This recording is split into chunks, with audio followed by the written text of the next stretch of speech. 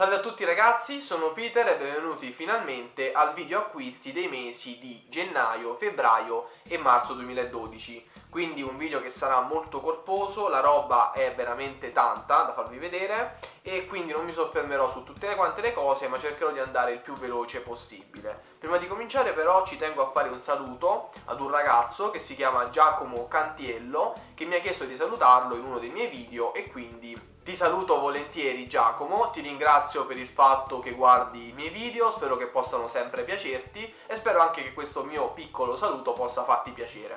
Ciao!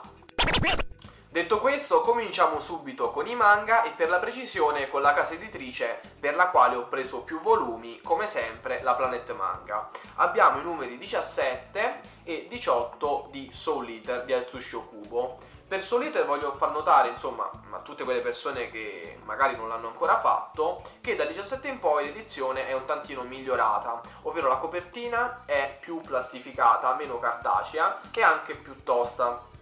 più rigida del solito. La carta mi sembra mm, praticamente identica, insomma, abbastanza biancastra e un pochettino trasparente e soprattutto le, mm, la legatura è migliorata, a me sembra notevolmente, anche il numero 18 la legatura mi sembra piuttosto buona, quindi per solito devo dire che la Planet Manga sembra che abbia fatto un miglioramento che ho apprezzato e quindi a queste condizioni il prezzo di 3,90 è diciamo abbastanza eh, giusto Piccola nota negativa per il numero 17, come sicuramente saprete, è fallato perché mancano le ultime due tavole finali, cioè queste qui non sono le ultime in realtà, ma ce ne sono altre due che non sono state inserite eh, nel manga. Questo qui appunto è ancora fallato, devo farmelo sostituire e penso proprio che lo farò al Napoli Comic Con, eh, sperando che appunto nello,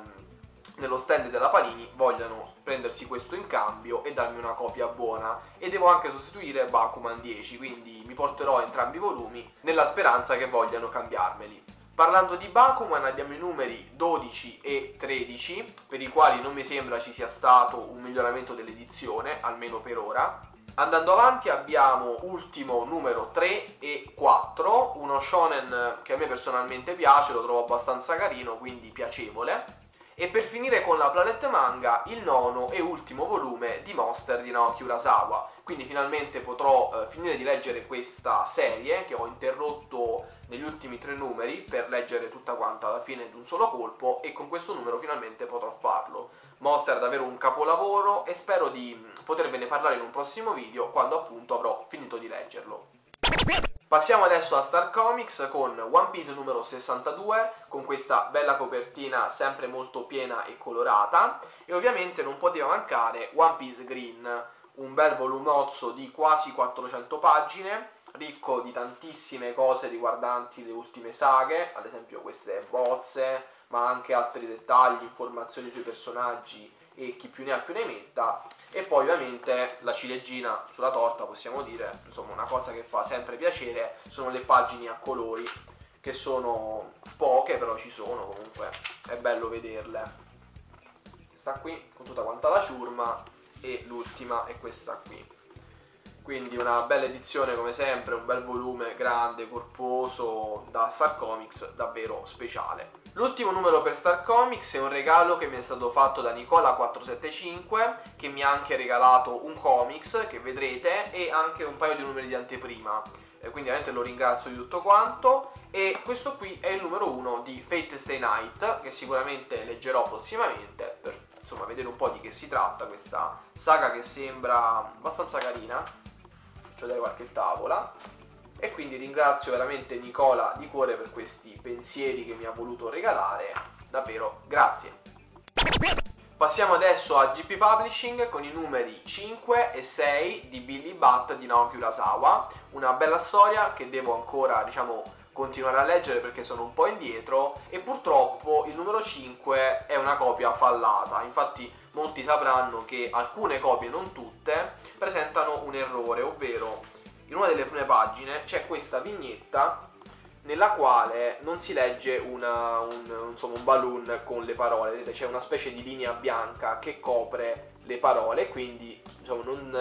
non si capisce quello che c'è scritto, non si riesce a leggere. Quindi dovrò vedere in qualche modo di sostituirla mh, perché ancora non l'ho fatto, quindi insomma vorrei avere una copia eh, integra, per così dire. E per finire con GP, il numero 4 di I Am a Hero, un manga davvero bellissimo che vi recensirò in uno dei prossimi video.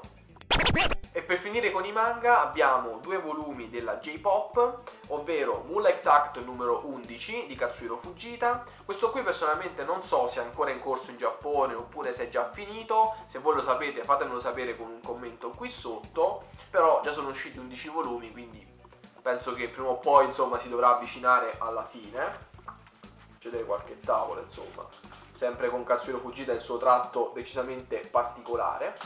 E poi per finire abbiamo Wolf Guy numero 10, serie che dovrebbe essere conclusa con il numero 12 se non sbaglio, quindi ormai siamo praticamente alla fine quasi di questa bella storia, molto molto d'impatto, molto eccentrica e molto singolare in alcuni casi, anche molto violenta, però per chi ama questo genere così splatter, anche con un po' di fanta... non fantascienza, però eh, comunque per il fatto dei licantropi, insomma, roba di leggende e cose di questo tipo è davvero consigliata. Passiamo adesso ai comics che sono veramente tantissimi e iniziamo con una valanga di Spider-Man. Abbiamo il numero 573 con Fear Itself, 574 con la prima parte del ritorno dell'Anti-Venom, 575, la seconda parte sempre della stessa saga, il numero 1 di Spider-Man Island, ovvero il 576, con i disegni del nostro italianissimo Stefano Caselli 577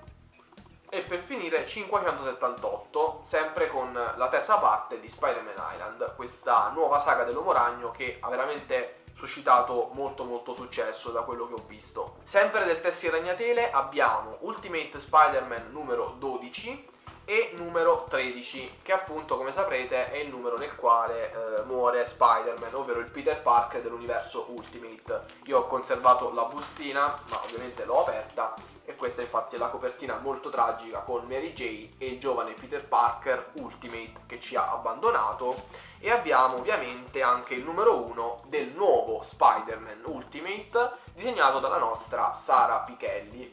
come leggete anche in copertina, quindi una nuova saga con un uomo ragno che questa volta è un ragazzino di colore, quindi una bella cosa secondo me, una cosa nuova insomma che vedremo come andrà avanti e sono molto curioso. Sempre per la Marvel abbiamo una nuova testata, ovvero Venom, con il numero 1 che mi è stato regalato da Nicola475 e che ringrazio, il numero 2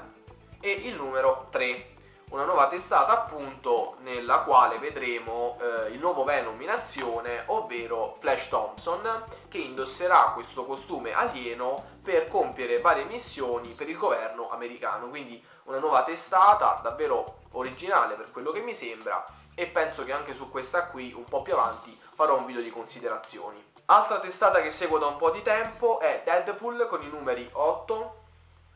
9 e 10 che devo ancora leggere e personalmente Deadpool non so bene se continuarlo oppure stopparlo perché mi piace, però stanno uscendo anche cose nuove che sicuramente mi interessano di più e quindi sono un po' insicuro se fermarlo o meno. Quindi leggerò questi numeri che mi mancano e vedrò un po' la situazione, però insomma per adesso l'ho continuato. Gli ultimi fumetti della Marvel sono ovviamente Fear Itself numero 3, 4 e 5 questo nuovo eh, evento, nuovo per così dire, perché tanto ormai sono tanti mesi che sta uscendo, evento della Marvel, di cui non ho mai parlato in nessuno dei miei video e eh, sto aspettando appunto che si concluda tutto quanto l'arco narrativo per poi fare un video di considerazioni e pareri personali a riguardo appunto su questo evento Marvel Fear Itself. Adesso passiamo ad un'altra casa editrice americana, ovvero la DC Comics, per la quale ho fatto un sacco di recuperi e anche qualche novità dell'ultimo periodo, sia per la Planeta di Agostini che per la RV, Lion Comics, che recentemente ha acquisito i diritti della DC. Abbiamo tanti recuperi di Lanterna Verde, quasi tutta quanta la nuova serie, Lanterna Verde numero 4, infatti i primi tre numeri li avevo già recuperati da molti mesi, purtroppo mi manca il numero 5 che fatico a trovare e infatti ho realizzato questo video, vi metto qui il link del video, per fare una sorta di appello e aiutarmi a trovare il numero 5 che mi manca ancora e anche il numero 9 che però grazie a Dio ho trovato. quindi se per caso volete aiutarmi guardate questo video per capire esattamente di cosa sto parlando. Poi abbiamo il numero 6, 7, 8, il numero 9 che veramente è uno di quelli più introvabili sicuramente, questo qui, eccolo vedete quanto è bello anche imbustato, che ho trovato su ebay eh, da una fumetteria di Reggio Emilia, tipo non mi ricordo bene, e per questo numero ringrazio un ragazzo di cui purtroppo non so il nome ma so soltanto il nickname perché su YouTube mi ha scritto guarda che ho trovato un'asta dove vendono il numero 9 e infatti io sono andato lì sul link e l'ho subito comprato. Il nickname è Criminal Best non so come si chiama questo ragazzo, però veramente lo ringrazio perché mi era sfuggita quest'asta nella quale vendevano il numero 9, quindi eh, Criminal Best, qualunque sia il tuo nome, ti ringrazio tantissimo, veramente grazie perché se non fosse stato per te molto probabilmente me lo sarei fatto soffiare. Poi Lanterna Verde numero 10 che mi ha regalato il mio grande amico Andrea che studia a Roma aveva due copie e quindi molto gentilmente ha deciso di regalarmene una e di questo lo ringrazio tantissimo, veramente grazie Andrea perché mi mancava insomma questo numero e tra l'altro mi è arrivato proprio stamattina, quindi all'ultimo secondo ho potuto inserirlo in questo video acquisti. E poi tutti quanti gli altri numeri, 11, 12, sono un po' tanti però ve li faccio vedere velocemente, 13, 14, 15, 16, 17 con questa bella copertina con tanti personaggi DC tra cui Batman, Flash, Superman e compagnia bella 18 l'ultimo numero uscito per la planeta 19 il primo numero ufficiale della Lion Comics come si legge anche qui sotto RV quindi 19 20 e 21 che appunto è il numero uscito a marzo. E devo prendere anche il 22 che è già uscito ad aprile. Davvero una bella testata lanterna verde mi piace tantissimo. E quindi veramente spero di poter recuperare il numero 5 perché sono bloccato nella lettura e non mi va di saltarlo per continuare. Quindi aspetterò di trovarlo e in qualche modo spero di farlo gli ultimi comics della DC sono i numeri 0 usciti a gennaio per la Lion, ovvero sto parlando di Lanterna Verde numero 0, Batman numero 0 ovviamente, Superman, Flash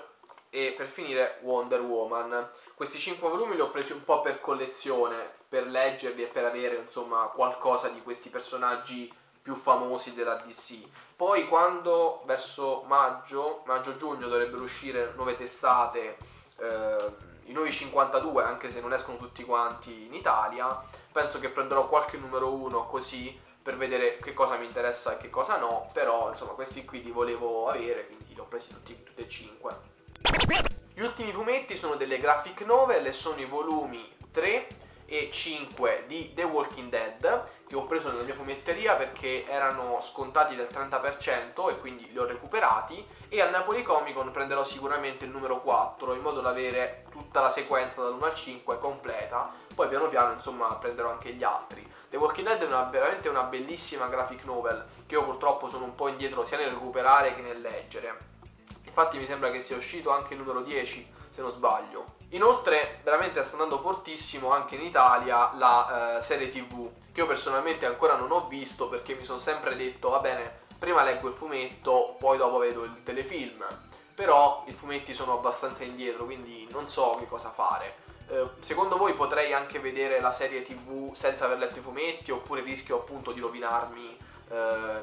la graphic novel in sé effettivamente vedendo prima il telefilm. Non so fatemi sapere con un commento qui sotto se avete capito quello che ho detto. Comunque ehm, The Walking Dead è veramente una bella opera che merita moltissimo quindi se potete recuperatela assolutamente. L'ultimo fumetto è sicuramente il più grande per dimensioni di quelli che vi ho già mostrato ed è la graphic novel Habibi di Craig Thompson pubblicata da Rizzoli Wizard in questo volumone assurdo di più di 650 pagine, veramente grandissimo, cartonato, quindi davvero una grande edizione, e una carta fantastica, bianca, bianchissima, per niente trasparente, quindi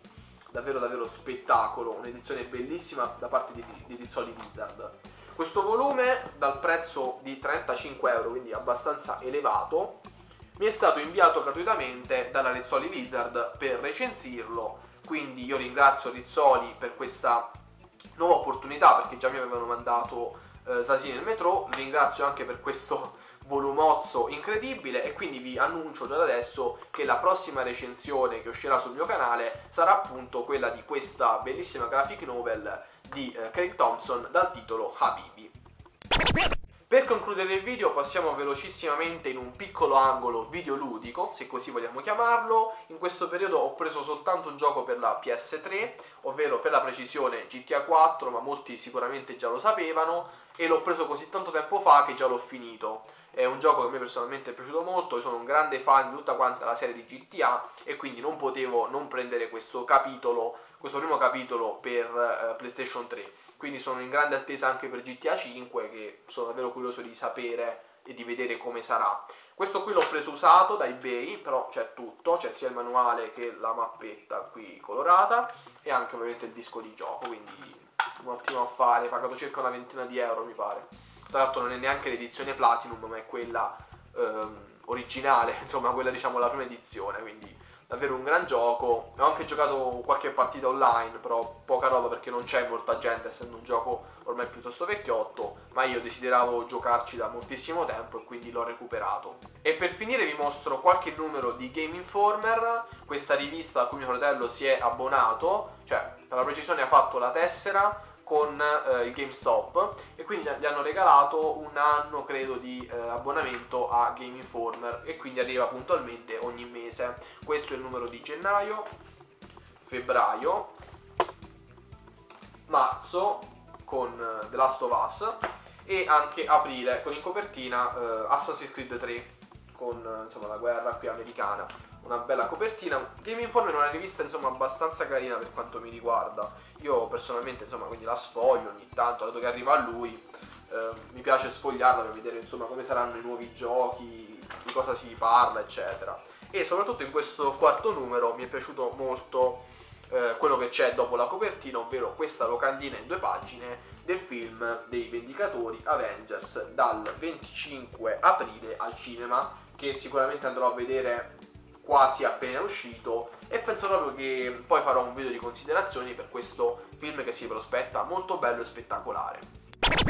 Benissimo ragazzi, anche questo mega video acquisti è finito qui, spero vi sia piaciuto, spero vi siano piaciute le cose che ho preso in questi tre mesi del 2012, fatemelo sapere ovviamente come sempre con dei commenti qui sotto. Nel box informazioni vi lascio come in ogni altro mio video tutti quanti i miei contatti, Twitter, Facebook, anche Instagram, qualunque cosa in modo che possiate seguirmi ogni volta e ovunque volete. Vi ringrazio per aver visto questo video e vi aspetto alla prossima. Ciao!